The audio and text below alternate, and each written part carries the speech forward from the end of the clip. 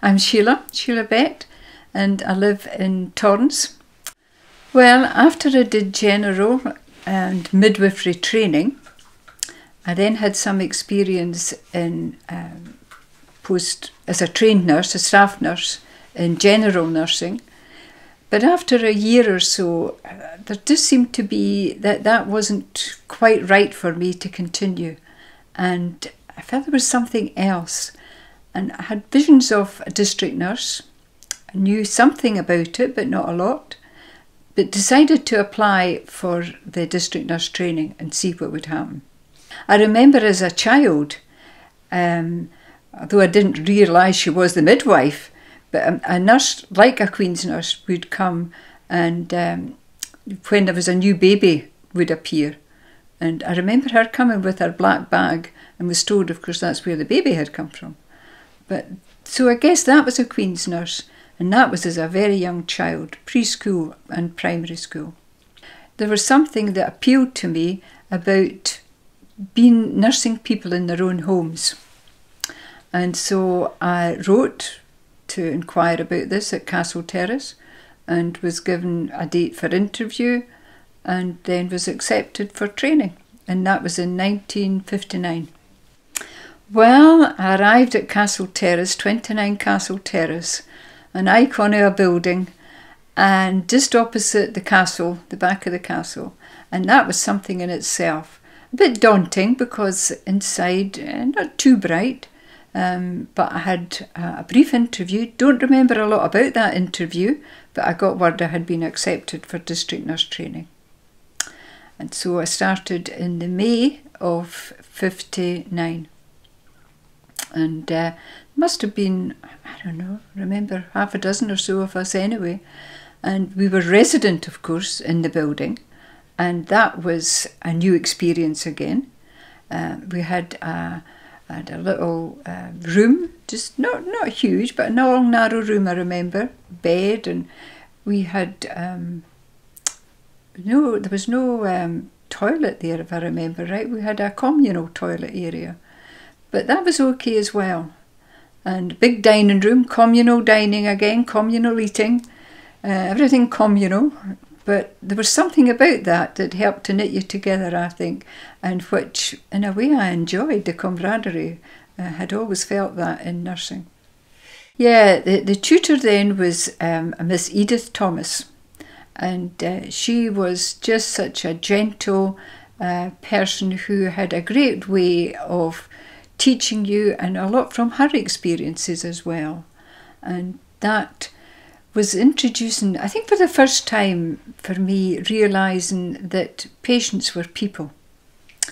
And when you went into their own homes, that was very different. We were the guests, whereas in hospital, the patient was the guest.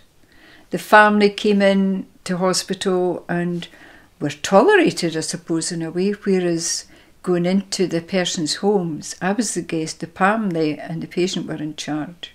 And that was a, a big change. But so that was very much the core at the beginning was treating patients as people, respecting whatever their circumstances were. Sometimes the and it also was not showing your reaction to what you felt were adverse conditions, whether it be maybe not too clean a home, poor situations, not um, even uh, people's temperament, their behaviour, all sorts of things. But that was what made district nursing, of course. But that was where it was a different um, approach. And you went in, you knocked on a door, you were invited in, and that was important that we remembered that and respected that. And then once you were in, that you respected whatever they had in their home. Maybe not to my taste, um, but whatever it was, we respected and asked permission to, is it all right if I use this for a surface or can I protect it? Protecting their privacy as well and getting to know them as people, uh, making conversation. Uh, asking about what the family without appearing too inquisitive. It was sensitivity I think that's what it taught me sensitivity to the situation. And so I learned a lot just even in those training days when you were first taking out to, to experience that. Um, well, we would ask because not every home at that time had baths or um, mod conveniences. So you would ask maybe, depending on what the, the nature of the visit was, whether it was for giving general nursing care, as we called, or an injection. Um, you, but you asked for, if it was an injection, a box or a receptacle that you could keep your pieces in. And although we carried, there was no um, disposables then, uh, we carried a syringe, but you needed to keep uh, maybe some cotton wool buds and bits and pieces there in it. And also your notes. You had a, a wee record there of your visit. So that had to be kept safe. So it was making sure that there was for that. It was really a record of your visit so that people coming after you could see when someone had been. There wasn't a lot. We had, when we went back to Castle Terrace, that's where you could give a lot more of the detail and the confidential stuff.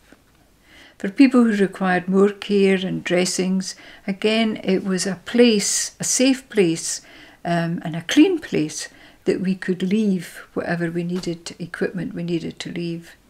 Improvise where necessary with a basin or a large bowl, or um, and of course we had no disposables. So how did you get rid of all the the, the uh, mess, as it were, the dressings or whatever it was? And that's where the Queen's Poke came in. And that was one of the things we were taught in class was the Queen's Poke. And a newspaper folded in such a way that it sat on the floor as a bag, an open bag. And you put your soiled dressings or whatever it was you had into there.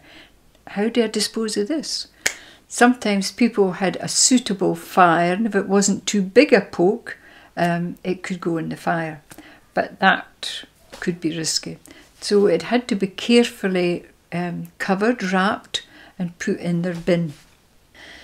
After um, we had done some time in the classroom and um, yeah, had our eyes open to what we were, this was a different approach. And so I was allocated to um, just off Leith Walk, the top of Leith Walk and along the London Road, Windsor area it was called. That's what it was called, Windsor and there was a few roads there, mostly retired people, um, a few who and a bit elderly, but a few younger families, not many, but a few, and so. Um, it was when you did relief duties that you then often got a contrast and into a different type of area. Maybe you were doing Pilton or getting a different um, social group altogether. Many of the folks I had in that area were retired. Um, I, I always remember two old sisters who were on their own. They seemed very old to me at that time. Probably they're about what my age is now. And but they seemed very old, and in these days they dress so much older, and dark clothes and a bit stooped. But they always welcomed me. They didn't have a lot in their home. They just had one room and kitchen, toilet. But they welcomed me, and I think they were just glad of company. And so you would chat with them, and they would provide what I needed, and um, it was a, a, general nursing care. So you did spend a bit of time there. Um, but I can still see those two sisters and just their welcome. Um, but others were injections, others were dressings. You know, there was there was variety, but I think it was the circumstances that you walked into that made, and that was what made district nursing. Um, you became part of that family. Um, you knew about the family, you knew about their circumstances. They shared a lot as you gained their confidence and that was part of it. And that, of course, also influenced some of them their recovery because the social background, but their circumstances um, all helped. And I think someone going in and listening, um, because we did a lot of listening, we did some talking, but we did listening and just sharing it with them. I think that was what, especially people on their own or uh, even a couple but elderly, lonely, depend where the family were, if they were abroad or in another area of the country. Um, you were a visitor, but you became a friend and welcomed. Yeah, there were some difficult situations, some who uh, maybe weren't so glad to see you, uh, temperament wise, and it, it was treating them in the same way but realizing when you needed to step back, when you needed to be quiet, when you needed to just uh, go with the flow, as it were, and go with them. I think your general training uh, obviously had, had um, given you a certain amount of confidence in your professional maybe ability. And even in the Queen's training, there was that as well. Um, but I think it's a heart's desire, really, for me it was. And I liked people and I liked to have this more intimate conversation. And yeah, as a Christian, I felt that, you know, I had God on my side and He was supporting me and helping. And yeah, many a prayer I put up uh, especially if you thought it was a difficult situation you were going into. Lord, I need help here. And it was amazing. But I think it was your openness to people and your willingness to listen and not be judgmental, not critical. And that gave you confidence as well to keep going. Um, uniform was very important and a strict code of uniform we had um, blue dresses, a sort of um, mid to royal blue, um, and we had little, in the summertime especially, short sleeves, we had little frilly cuffs, but in the winter we could have a cardigan, and you had black stockings and black shoes, and nothing else was permitted. And we had a skip cap, not good for the hairstyle, uh, I had thinning hair in the top, and that sure didn't help because when it was hot, you can imagine how you would get. And there you were, all in this uniform. You had little, that time, little stiff collars, um, just little sort of stand up collars, stiff starched. Um, so sometimes it could be jaggy. And of course, you had your Queen's badge on, your lanyard with the Queen's badge. That was what we were proud of. And your cap had a badge on as well. So that was your identity in a way. Um, and when people knew, oh, Queen's nurse, there was something, and people people knew about Queen's nurses, and there was something in that identity that gave you credence, permission, and approval. And so uh, that was a huge help. And of course, we had a, navy blue trench coat, um, and that you needed for the winter and uh, we were allowed a scarf um, if it was a, a, suitable scarf, either maybe your previous hospital or a coloured scarf, a dark coloured scarf. In the summertime, we were still in uniform with a cardigan, and uh, yeah, you had to be smart. And I think that was important, and that was part of the discipline. And um, yeah, I think we could just do with a wee bit of that today. There was four months the training at that time. During that time, uh, the group of us that had started together would become very good friends and shared a lot together. We studied together, and being resident, of course, was back to those days. And um, yeah, so we learned. You were also given the opportunity to have some driving lessons. And uh, we had so many, you were allocated so many because in most areas you needed a car. And since I was a non driver, um, I had some driving lessons, which were fine. Going about Edinburgh, when I think about it now, I don't think I would like it the same, but uh, not enough to be able to sit the test. So that had to be continued. Um, but we um, shared, as I say, a lot. And then the time came at the end of the four months when you could put in a request, maybe for an area you would like to go to, because Queen's appointed you to a certain area in Scotland. Um, you could put in a request, which I had become friendly with a girl called Barbara. Barbara and I had become good friends during that time. And we had thought it would be nice if we could have a double district, as they were called, so that we would go there together, which would meant maybe a slightly bigger area.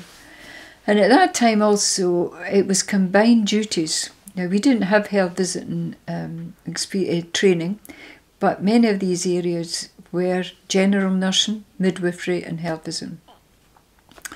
So Barbara and I had decided we would like a double district and put in a request for that. Barbara's dream was a country district with a nice wee cottage, and I quite fancied that, so we put in that request. Friends made up a postcard and a poem all to that effect, and uh, there it went to Miss Connor. So then, when the day came for allocation, where were we going? A mining village in Ayrshire. Wow! Having come from a mining town, Cowdenbeath, um, I had some, you know, links there and, and uh, I could understand a bit of where I was going. But Ayrshire, well, however, there was no choice. And it was a triple duties. So the two of us um, were appointed to start on such and such a date. When that time come, we travelled by train. No cars had we then. Barbara didn't drive either. So we travelled by train to Glasgow first and then to Auchinleck. That was the area, mining village just in the heart of Ayrshire. And uh, the nurse who had been covering for the area because the, the previous district nurse had retired, um, been there for I think about 20 years or something, much respected, drove a car and knew everyone. This nurse had been covered as relief and she met us at the station um, with a car, thankfully, because we had our bags and baggage and took us home to this nurse's house. That was a great thing. They had nurses' houses special for you in these areas. And so this was uh, in the middle of a council estate, and uh, it was a three-bedroomed house with a clinic attached that you could have people come up for injections, dressings, whatever. So we arrived at this three-bedroom in the middle of this estate, and we thought, wow, we're surrounded here but it was a nice house, and uh, we had a, a daily lady, Mrs. Hill, who came and cleaned and cooked our lunch for us. And because, of course, we were mainly in the village, could come home for dinner time. And so that was us arriving. Um, yeah, full of vim and vigour, full of excitement, great ideas, new, and at the same time, a bit of trepidation. What would it really be like in reality now? So the next day she took us to meet certain people and the books with all the list of the patients and what the requirements were and addresses. And uh, Barbara had a bicycle, so she used that. Uh, I was walking, but then I was given a bicycle. So we cycled around the area, much to the village's amusement, uh, entertainment, and wow, two young girls Imagine it. What do they know after our long experience district nurse? But once we got started visiting, and I think once too we had had one or two, uh, there was a lot of home confinements here. Midwifery was a big um, item because we were about 25 miles from the nearest maternity hospital. So there was bookings in already and a young community, um, miners' rows and young families. So there was quite a few. And I think um, my first one was in one of the miners' rows, and just about the first weekend I was there. Um, and that was that was quite something. That was a, a big experience.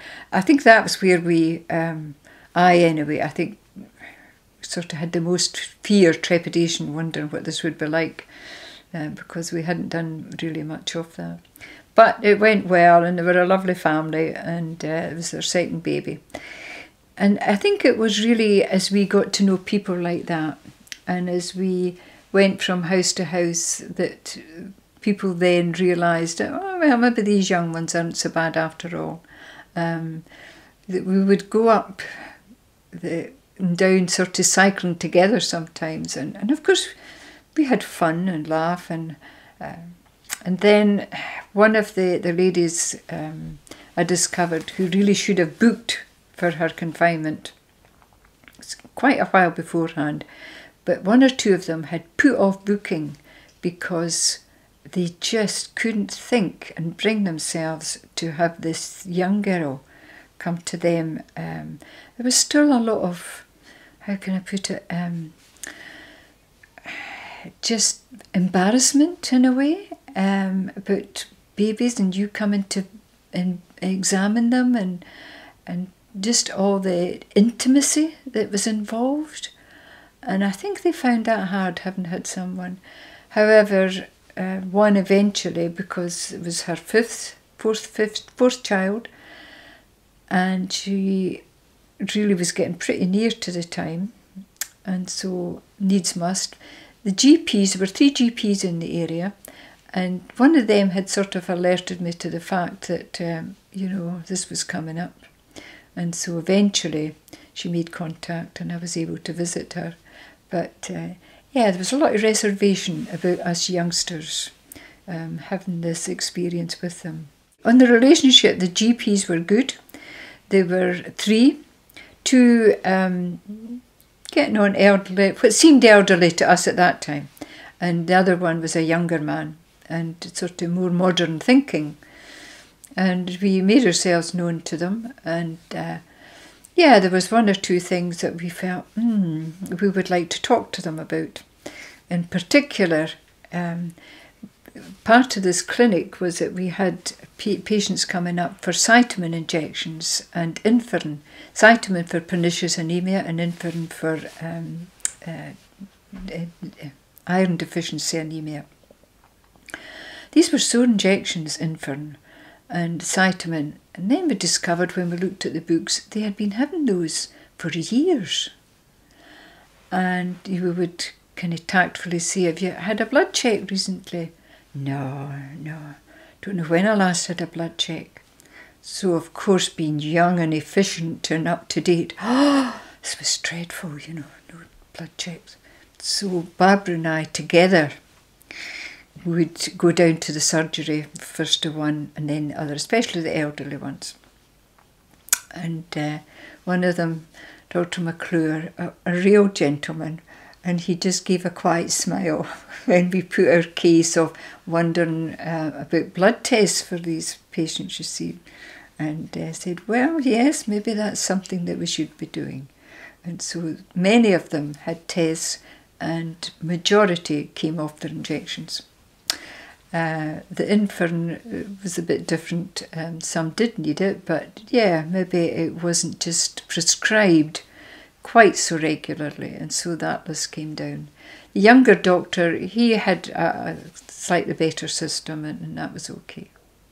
They were um, referred by the GP. Sometimes they would do direct. Sometimes they would give the patient a note, and they would bring this to us. If it was a confinement, um, it could be the same, either the doctor or the patient, and we would um, confer with the doctor and this. Um, and so that was mainly how it was done. It was often word of mouth, but or a note from them, and the the um, confinements. Then they would have so many visits to the GP, and so many of our antenatal visits. Um, if there was any queries, sometimes there was a hospital checkup. And most of the confinements we were able to deliver at home. Um, there was the odd one that needed to be transferred to hospital.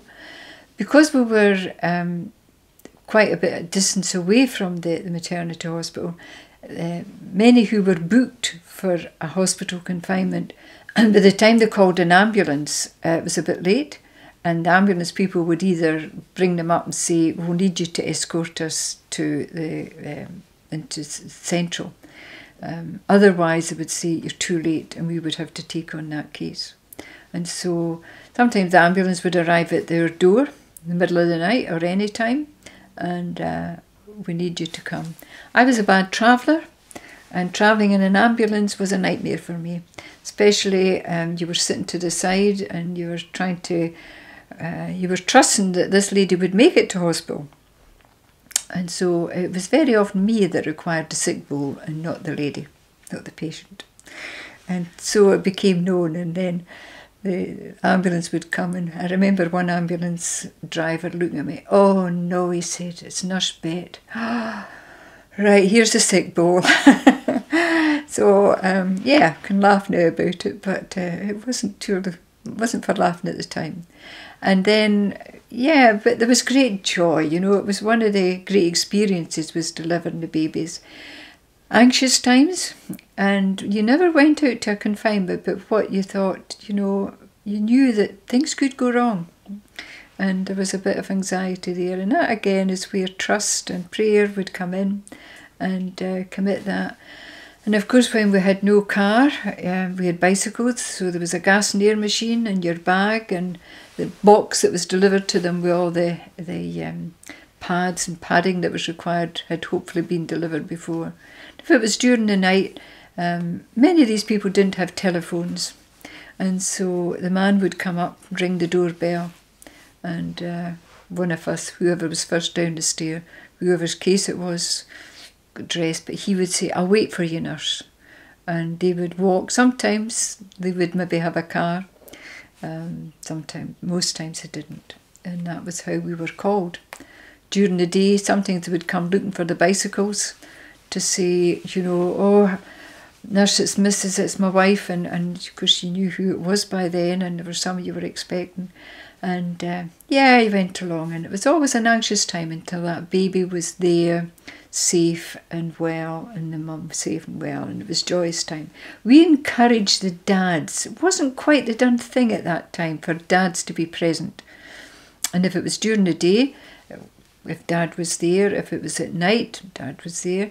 Because it was the miners, they had shifts, and that worked sometimes in our favour.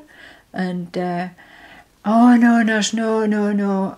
Um, but we managed to persuade quite a few and most of the times it was okay, and they said afterwards, oh, that was amazing. I think occasionally they would say, no more, no more. Uh, I remember one man fainting. So he just had to lie there until I was in a position to help him and make sure he was okay. Um, but yeah, sometimes the women even would say, Oh, if I don't know if I want him, I don't know if he'll be any good. But most of the times they were very supportive. And I think by the time we finished there, um, men were in there quite regularly. We were there for two years, and in that time, as I say, got to know. By that time, um, we still hadn't weren't drivers, and uh, still a bicycle. I had got a scooter, and that was a help.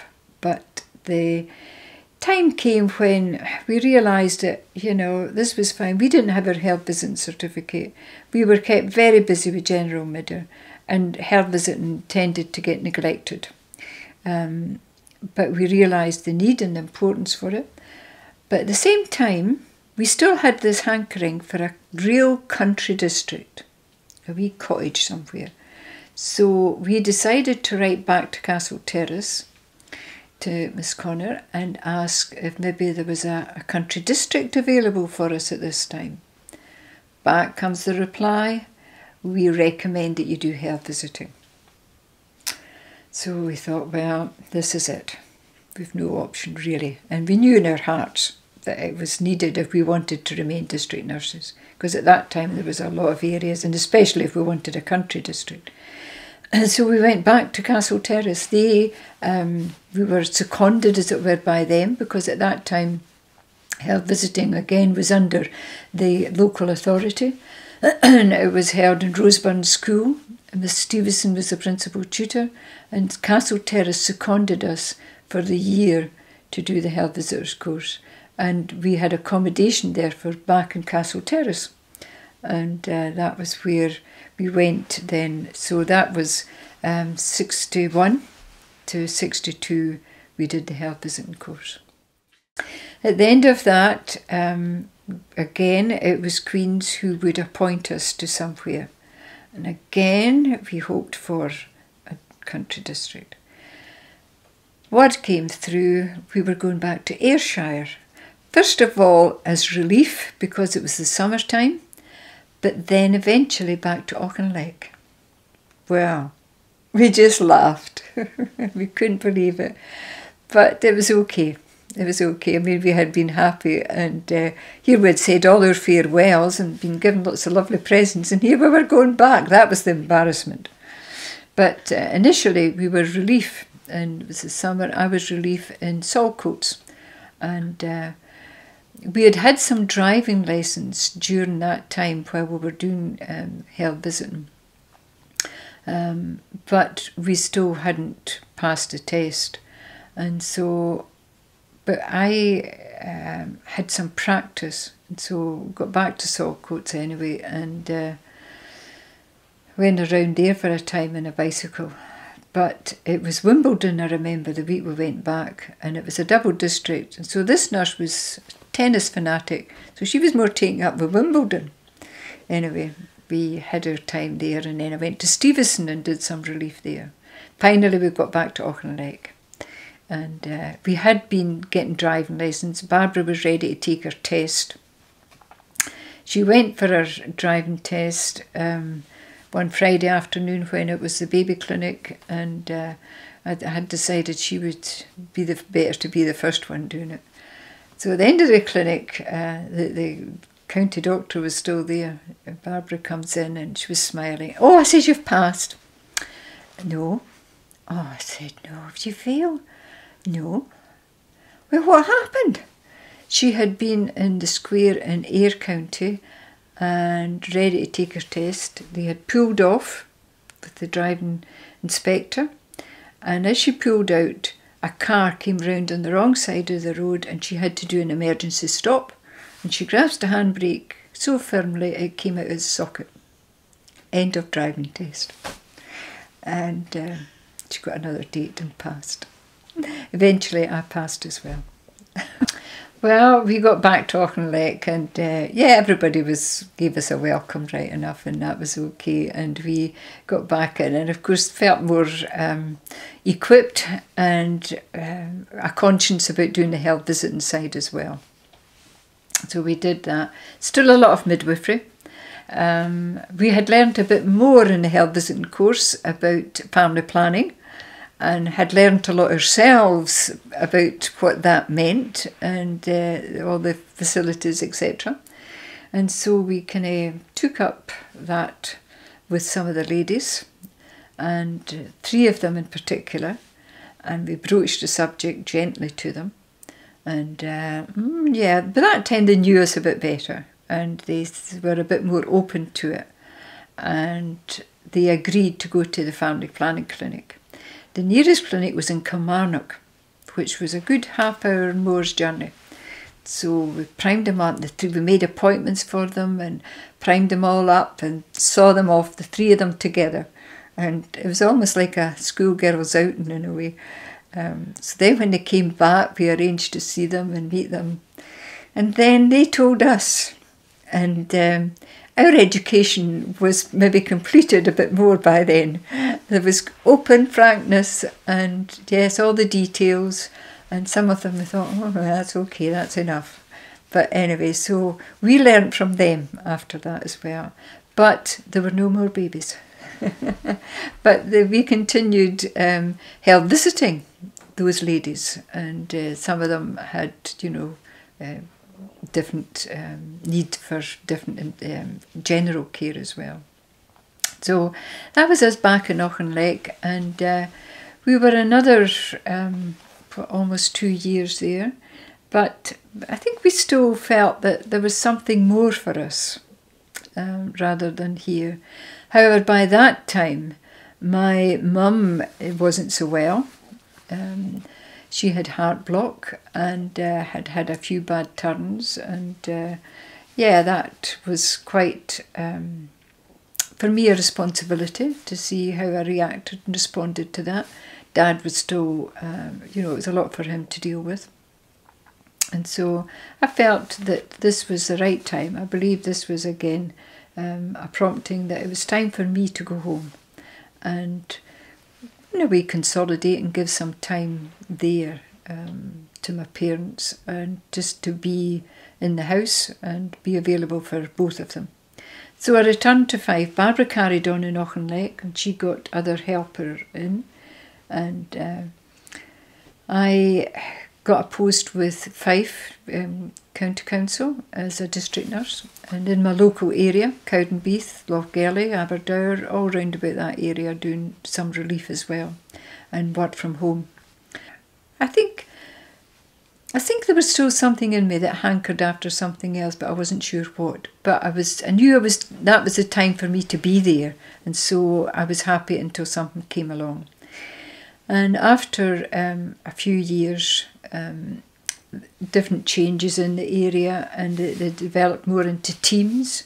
And so I was made the senior nurse for the team in that area, and sort of had but that we had some part-time people and, and just really overseeing that all the visits were carried out and reports and things like that. And so I did that for a few years. And towards the end of it, it was about um, coming up for six, uh, six to nine seventy. Um, because we still had we did midwifery in that area officially, there was very few home confinements because we were between two maternity hospitals, so most people at that time went into hospital. But you still needed to be kind of approved, and the person who did that was a, a Jess Beckett, Miss Jess Beckett, well known, well respected, and had been in the post through the midwifery council to come and just make sure that everything was all in order, etc. So she came to do that visit. And we got on very well and chatted and um, had a good conversation. And in the end, she said to me, Had I ever thought about administration? No, not really. Um, I, I really didn't think maybe that was full time for me. I didn't mind a bit, but at the same time, I was interested in maybe um, doing something else. And she said, Well, I think you should think about it and uh, maybe think about um, uh, writing in and inquiring at Castle Terrace. And I said, Oh, well, I'll see, I'll see. However, of course, a seed of thought was planted, and uh, I explored, I prayed about it, and thought, well, I'll see, I'll see what happens. I was going on holiday, and I'll see what happens after the holiday. However, when I came back from the holiday, here was a letter waiting for me from Miss McLean in Castle Terrace. She was the lady superintendent there at the time. To ask if I would be interested in coming for an interview for a post as a nursing officer at the training centre. And I thought, wow, I'm away for about a week and Jess Beckett must have got in touch with her. And here's this if this isn't God opening doors, what is? And so, but the letter had been lying for about a week, so I thought, oh, well, a week's passed, um, the post will be filled, but I better phone and find out. So, of course, I phoned. No, we would still like to interview you. And so I went for interview um, to Castle Terrace and then had a letter appointing me as a nursing officer. And so I moved back to Castle Terrace. Initially, um, I was there as nursing officer, and you were um, the, the district nurses who went out on their visits when they came back and they reported back to a nursing officer and gave a, a review of all their cases, as, as I had done. And also, you were making up the lists for the next day for the schedule for most nurses had their own district, but some maybe for some reason didn't have sufficient, and so you had to make up their caseload and try and keep a balance to that caseload. And when you were on a late shift, that was one of your duties to do that. Queen's nurses um, had a, a link, if you like, with the Marie Curie in that they provided night sitters for the Marie Curie for patients at home who, uh, you know, had a terminal illness and needed a sitter with them. And that was a kind of a link, a liaison. And so sometimes we were involved in phoning about that as well. And so I knew about that service. Um, after I had been there a fairly short time, um, Miss McLean called me in to tell me that they had just started with um, scheme with the Western General, we had group practice attachment at that time, and uh, there was a, a, surgeon there who was interested in having early discharges with patients having minor surgery, varicose veins, um, hernia, things like that, and but would need obviously a follow up immediately, and this could be done with the district nurse. And so it was a liaison service between the Western General the Queen's nurses, and most of them were in group attachment by that time. So it needed a person to go and collect, find out the list, the patients that required this, bring it back, and liaise then with those appropriate nurses, and uh, just make sure that everything was in order. And so she wanted to appoint me as that liaison person. And so I became the liaison officer um, for the early surgical discharge scheme, as it was known. And that started another branch. And uh, I liked that um, because I went to the hospital twice a week, and um, that got you out and about as well. And so, uh, buses, of course, and uh, we'd go down to the Western and arrange to collect the referrals, etc., and speak with anybody that was necessary. Come back and start phoning the, the nurses and follow up. And I did a few visits with them then just to see how it was all working. The crucial point was the first visit, preparation beforehand, and the first visit. That um, that that was done had to be done the day the patient was discharged, no matter what the time was, and uh, everything was in place and prepared, ready for them. The family were prepared, um, and that she went along and saw that everything was all okay, and uh, reported back. And so that was how that started. So I was involved in that then, and uh, yeah, I, I, I liked that. Still in uniform, of course, and the uniform then you were skirts and blouses and um, your black stockings and shoes and your hat and your jacket. And Miss McLean tolerated nothing but that. I one day dared to take off my jacket because it was so hot travelling back, but um, it was pointed out that I should be wearing my jacket in the nicest possible way. But uh, so, yeah, and you know, I can appreciate that now. How, because you hear people say that yet, how nice it is to see someone properly dressed in uniform. Sometimes we don't know who's who. Because of these group practice attachments and practical work teachers courses, which was in service training that Queen's did, not just for the Edinburgh, but for really um, the surrounding counties. That was held in Castle Terrace, and they had different programmes up in the classroom. And of course, there were always, if there was a new development, wanted someone to come and talk about that. So I was invited up to the classroom to speak about early surgical discharges and the liaison service we had. And so um, I think because it was a new development and some of these courses were new, a few of the senior administrators came along, like Miss Connor, Miss McLean, and of course Miss Thomas, the, the tutor, was always there. Um, and so they had come along to hear this, and uh, slightly daunting for me, but I enjoyed what I was doing and I had a passion for it. And so I was able just to be myself and uh, spoke about it and uh, had been doing it for long enough to feel a bit of confidence with it. And so I explained all about it and what was happening and, and this important, the important aspects of it, including the first visit, etc. And uh, but just you know, it was widening, widening the the scope for district nursing. So that was fine. Did that. Um, I think a day or two afterwards, Miss McLean summoned me into the office again, and you always wondered what you were being summoned in for. There was still a bit of that, you know. Uh, not fear, but just anxiety. Anyway, um, she was very good and said how she had enjoyed and appreciated this talk. And Miss Connor had, in particular, Miss Connor, I believe, had been a nurse teacher in previously, and that they thought perhaps um, nurse teaching as a, a district nurse tutor was a possibility.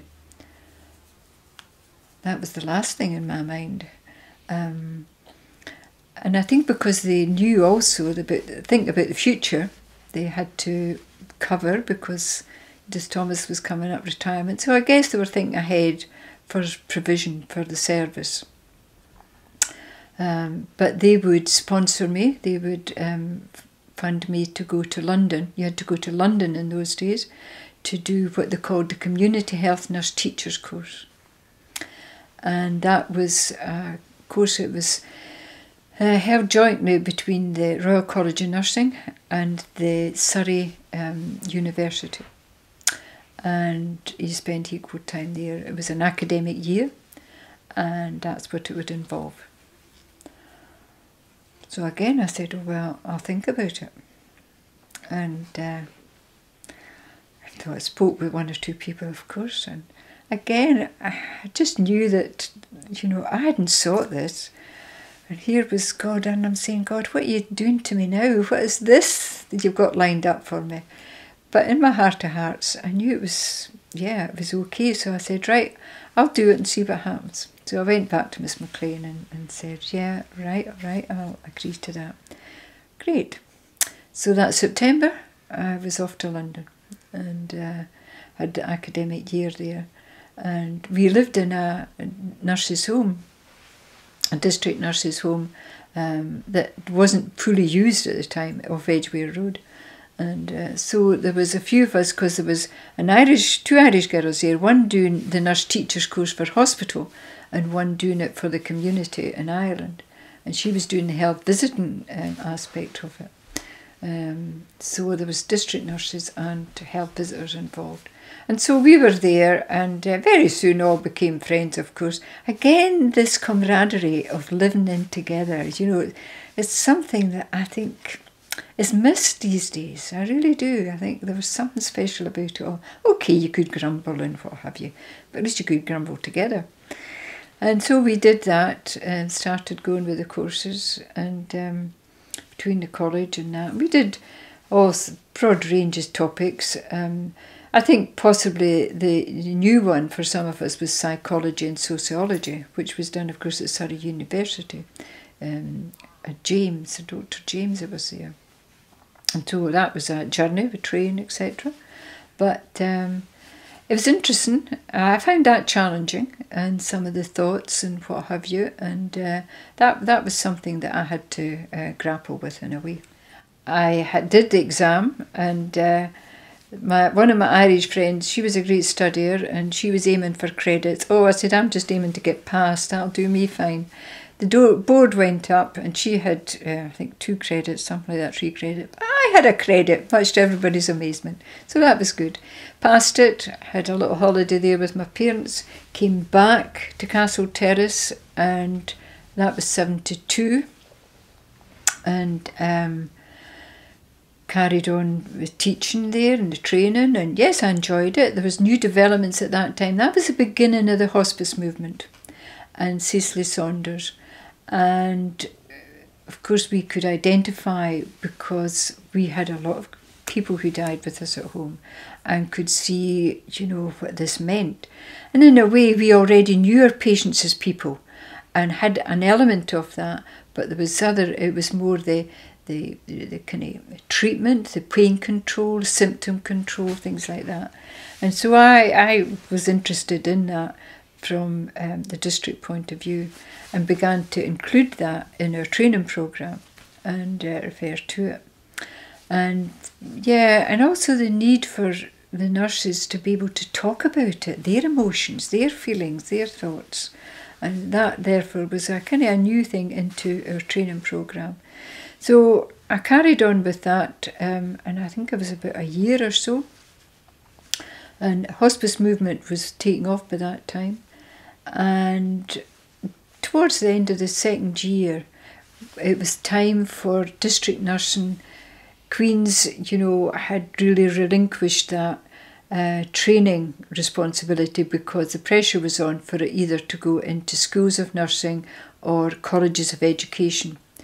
Miss McLean and I felt strongly that it should go into a school of nursing. We felt we were nurses and it should be with nurses rather than to an educational thing rightly or wrongly at that time, that was what we believed. and we went for it. And so I moved the training school into the Southern School of Nursing, and we were based there. They made us very welcome and accommodated us, and but it was round about that time then. Um, there was always something I think at the back of my mind that maybe there was something else. Was this me for the rest of my my time till I retired? I don't know because there were so many changes in nursing at the time. However, um, I didn't make any um, moves to make a change, and uh, a friend of mine who worked part time with the Marie Curie in Edinburgh, Fairmile, uh, phoned me one night. Sheila, do you know that Marie Curie are building a new home in Glasgow? They called them nursing homes really at that time. New home in Glasgow, and they're looking for a matron. No, Nan, never heard of it, didn't know they were doing that. Well, they are, and um, Major McLean, who was overall for Marie Curie in Scotland, mentioned it to them, did they know of anyone? And she says, You come into my mind. Me, Nan? Why, no, I'm fine where I am, thank you very much. Um, I don't know why he thought of me. Well, I did. So I said, No, thank you for phoning, Nan, and we talked about other things. Left it at that. But a fortnight or so later, she phoned me back. Sheila, she said, You're still on my mind, and they're still looking for a matron, and you keep coming into my mind, and I just had to come back and say to you about it. Nan, I wish you wouldn't do this to me. But, as you well know, know that if you've got this, maybe it's something that God sent to me in all this, and I need to just think about it and pray about it. Right, she said, okay. I think what was that was what she really wanted. And so again I said, Lord, what are you saying to me now? What is this about? And uh, yeah, and I said, well, You'll need to open the doors. I'll make inquiries, but you open the doors if you want me to do this. So I made an inquiry to the, the Marie Curie office just to ask about the post. There wasn't no one there. We'll send you an application form. Application form. I went through that process, sent that in. Lord, just stop it now if that's what it's meant to be. Major McLean phones me. Can I come and see you? Yeah, sure. So he came to see me, and I had ideas in my head as to how I thought would be relevant in a Marie Curie home rather than just as a nursing home. I saw more hospice type care, which there was a difference. And I wasn't sure how they would feel about that. So, anyway, he came and we spoke, and much to my amazement, he was really um, agreeing and in a way forestalling me with some of the thoughts and ideas that I had. And uh, we had a good chat, good talk, etc. And he said, Right, we'll let you know about an interview. Oh, right, okay. Um, so eventually, phoned to see if I could come for interview on such and such a date. Sorry, Major McLean, I can't make it. It's the district nurses exam, national exams, and I'm invigilating. It's my group and what have you. I can't do it that day. But go ahead, go ahead and have the interviews. I quite understand. No, no, no, no. We'll find another date. What about such and such a date? Well, it would need to be in the morning because I have an invigilators exam um, meeting, examiners meeting in the afternoon. So it'll need to be in the morning. That's all right. Come to Glasgow. This new building's not quite finished yet. Come to this medical centre. Tara, I went for interview. Took a taxi from Queen Street up to this unit. Saw the building, which wasn't quite complete, and thought, my word, Lord, what are you bringing me to this? This size of this unit? And all through the kind of places where buildings were being demolished and almost slum area, not quite, but demolished and run down and what have you. And I thought, do I want to leave Edinburgh for this? However, went for my interview. When I got in, this whole range of people uh, from north and south uh, in to interview me. But I thought, well, do you know, it doesn't matter if I get this job or not. And uh, Major McLean, I recognised one or two faces, so that was okay. So they proceeded to ask me the questions that I had had in my head, and really we were on the same wavelength. They were already realising that things were changing, and Marie Curie needed to change with their homes and become more maybe hospice type. And so uh, they said they would phone me later in the day. That afternoon, at the end of my meeting, a phone call. Unanimous decision, we offer you the post. Wow. Well, this is a big decision. I need to be perfectly sure. I'll phone you on Monday. It's a public holiday. Of course, I knew, talked over with a friend or two. I knew that was it. And so I came to Hunters Hill. And that was me finished with Queen's. Finished with Queen's, but carrying on a lot of the principles. Builders were still there. I moved in and the, the first thing I had already been involved in um, having meetings about equipment and furnishings, etc. So that was pretty seen to. My next priority was staffing, and there was an existing Marie Curie home in Glasgow, and I was really felt I needed to interview some of their staff. So I did that that hot summer. Um, we interviewed, and I did keep transfer some of them, not all of them, but some. But at the same time, word of mouth went out. I think an advert had been put in. I didn't put it in, but I think one had gone in. And um, I had a number of people came, and uh, I was looking for people who not necessarily had previous experience, but who had a heart for people and care, etc. And I had my criteria, and uh, part time, full time, trained and untrained in different ways. And so I interviewed lots of people, and uh, eventually we got a team. The deputy matron was a, a bit of a difficulty. Interviewed several, none of them suitable, and it was left at that.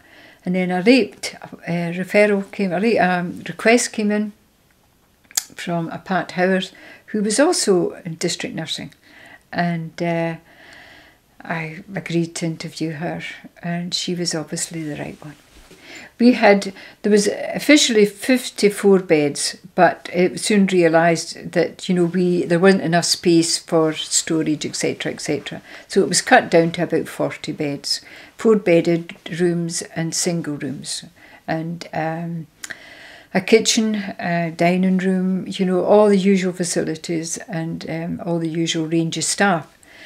After a time, because Pat and I district and most of a lot of these patients that we have either came from home or hospital, but we realised that many of them could go home and for varying periods of time, but needed a follow up. And we believed that was where, again, district nurses. We had had district nurses come in for visits, etc., and we still had a close link with them. But it needed someone who was trained not just in nursing, but in caring for people at home. And so we appointed two Queen's trained nurses to be our home care sisters. And um, they're still in that area today, although I think one's working with children. But uh, after all those years, but they were the, the first two, others came after that the first end of the first year, beginning of the second year, we had a difficult spell. There was some sort of um, one or two, shall we say, staff difficulties, and uh, we got through that, and I got a, full time doctor appointed, and that really made quite a big difference. However, I was on holiday and got a phone call to say this was the Evening Times Glasgow Evening Times. And I laughed and I says, Who's this having a joke? And uh, no, it's Glasgow Evening Times. I says, Yes, right, okay. Um, you've been nominated for Scotswoman of the Year award. And I laughed again. I said, No, this is a joke. Um, no, this is this is for real. Um, so nominated for Scotswoman of the Year, and we just want to let you know, and to, that you will accept and, and I said, yeah, accept. I still felt it was a bit of a joke. and uh, it will be in the evening times, etc. Well, of course, it was all over the evening times, and by the time my holiday was, I was only off for a few days. The whole staff were in uproar about it, and uh, Major Maclean was through from Edinburgh, and everybody was buying the evening times, and. Uh, but there was about seven, I think, nominees, and I thought, well, yeah, that's it. However, much to my amazement, yet again, I was nominated Scotswoman of the Year 1983. I had won it. I'd been nominated and I had won it, and it really was the public who had voted, it wasn't the staff. It was a tremendous boost because, you know, we had only been going two or three years, but for the staff to know that they were being recognised because it was a team effort, you know, and that was made clear, that people had noticed what they were doing and how they were responding and reacting was great. I was in Hunters Hill then um, until uh, that was me.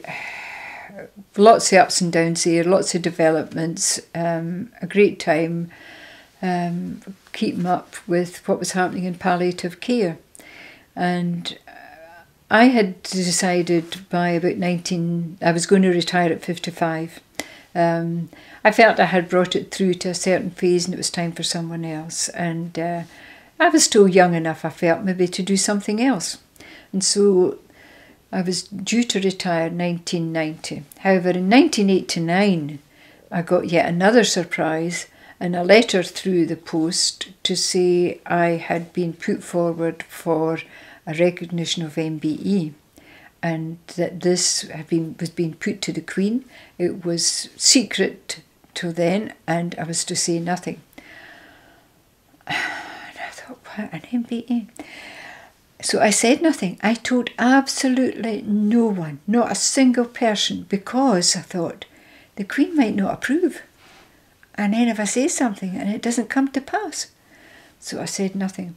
I had already booked a holiday with my parents to go down to visit friends in York at the time when it was the Queen's Birthday Honours List. And so and I had said, still said nothing. My parents went to bed that um, previous night, the Friday night, and I finally, my friends and I sat, up. I finally said to them, just before midnight, I think, about this, you see. So, of course, Jack, and Jack, he said, Oh, we need to find out, we need to find out. He phoned the newspapers up in Scotland to see if they could give the list. So he was able to confirm, and uh, that was on the Saturday. And that was the Queen's Birthday Honours. And then I went to Buckingham Palace with my dad. Uh, Mum wasn't able to do it, but Dad, oh, his pride and joy, because he was a bit disappointed I hadn't allowed him to walk me down the aisle to get married. Um, so I says, right, now's your turn, Dad. Tails, top hat, the lot. And we went down with another friend, stayed in hotel, went to Buckingham Palace, met the Queen, and uh, uh, Marie Curie had a lunch for us. Came back on the flight. They insisted that I wear my finery. Oh, I said no, but they insisted. We, we travelled back for mum's sake to see it. Met at the airport by um, our events coordinator uh, with a limousine to take us back to Hunters Hill, where, of course, there was a huge reception party. Retired in 1990 with the idea that I would have at least six months to just come to and see what was what. I'd wondered, I, I had no definite plans, but just thought there must be something, maybe voluntary or something. And but I was quite content to leave it, and I knew God would open the doors if there was something that was to come. Within six months of retiring, Dad had a heart attack. Uh, thankfully, not too bad a one, and uh, he made a, a, good recovery. But Mum had early dementia, and uh, that was a different story. And so, gradually, of course, that was where my time was taking up, and I knew that's what it was meant to be, and so that was okay. Before I went to the hospice, I realised that my Queen's nurse training was really what would influence me in how we, um, how staff, how my staff, the staff I chose, but also how we functioned and interacted with relatives, friends, um, and made it as home from home. So we had a wedding, we had parties, we had birthdays, we had outreach, and we visited them at home, etc. Both Pat and I, who was Queen's trained as well, we saw it as a home. And that was the emphasis we put on staff. This wasn't a hospital. A hospice, but a home, first of all. And therefore, people had to be treated as though it was their home and their families. They came in as a family unit. If they didn't have family, friends, whatever, otherwise we were their family unit. And so the emphasis was very much on open visiting, informality, involvement, inclusion of visitors, family, um, and that the staff themselves, that we were a family. And so we, it was important that we had social get-togethers and informality up to a point, and yet a discipline professionally. Um, and so I joined them in some um, uh, out of hours uh, socialising, but even on the coffee room, that was their room where they could let off steam about me and everybody else. But I would join occasionally to hear just what they were saying. And so that was important that it was an open door to my office. I think for a Queen's nurse, they need to be willing to be a lover of people, flexible, ready to improvise without um, what's the word sort of um, they're professional but remain professional at all times um, but I think flexibility and openness but an understanding of people and just accepting people for who they are and where they are at their point in their lives still I'm proud. I still tell people. In fact, I still educate people. Many people don't know what a Queen's nurse is. And we recently had in our church, um, we have a friendship lunch, and we, we were having um, a call the midwife session with myself and another friend who had been a midwife on our experiences. And, and I spoke about being a Queen's nurse, district nurse, and some of them, including you know, this other nurse didn't really know the history. And going back to William Rathbone in Liverpool and why he started it because of his wife having cancer and being at home. Not many people know about that. And I don't know that, I'm sure all maybe Queen's nurses do, but uh, people don't know today really what that was all about. Uh, there are a few of the very old people who will remember the nurse coming round with a wee black bag, but I believe it was those principles that stood me in good stead, especially in the hospice work. And that was what I based it on, and that was why I was keen to recruit often uh, people who had had district nursing experience, especially Queens. We should be bringing back something, especially training and um, discipline and uniform. So many people will say, I don't know who's who. And I see them out, and I see district nurses, as district nurses out and about now, and I think, I think, um, I'm not saying they're not good nurses, but I think you need to be able to recognise them for who they are and what they are and what they represent. I'm very proud and I'm glad I did Queen's when I did. That's why I have still a lot of my memorabilia and um, talk about Queens to different people.